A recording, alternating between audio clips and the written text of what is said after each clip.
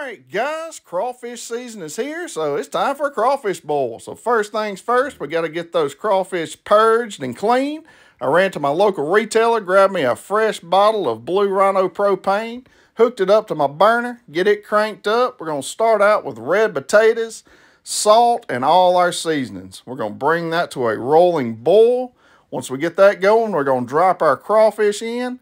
Next, we're going to squeeze in some lemons, Come back with our Brussels sprouts, mushrooms, and smoked sausage. We're going to let that roll for about 12 to 15 minutes, cut the heat off, dump in our frozen corn, and we're going to let it soak for about 20 minutes.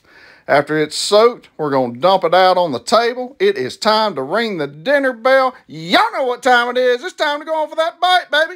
These were absolutely freaking killer. Enjoy, guys.